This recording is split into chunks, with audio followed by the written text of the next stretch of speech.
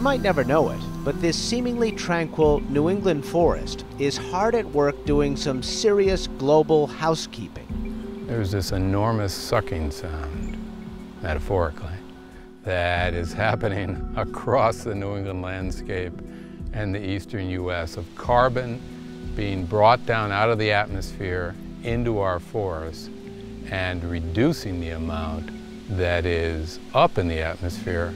David Foster is the director of the Harvard Forest, about two hours west of Boston.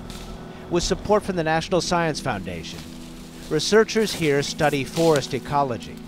We're trying to understand what shaped the land and where is this landscape going and what's going to be the fate of the eastern United States.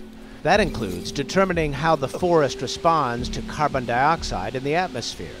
Today, atmospheric scientist Bill Munger is climbing one of the two 100 foot towers used to collect air samples.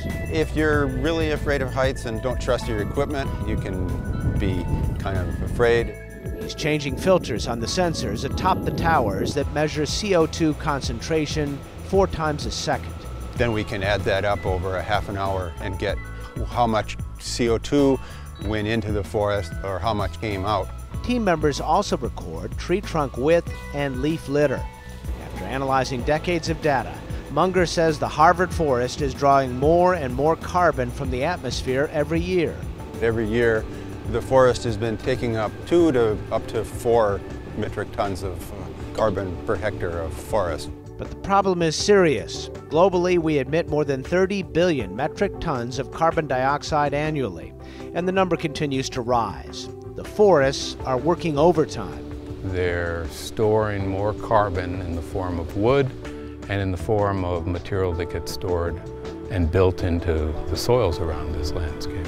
Even so, Foster says while forests can't solve the climate problem, Globally, we pump far more carbon dioxide into the atmosphere than forests take out.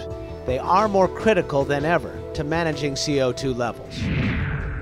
For Science Nation, I'm Miles O'Brien.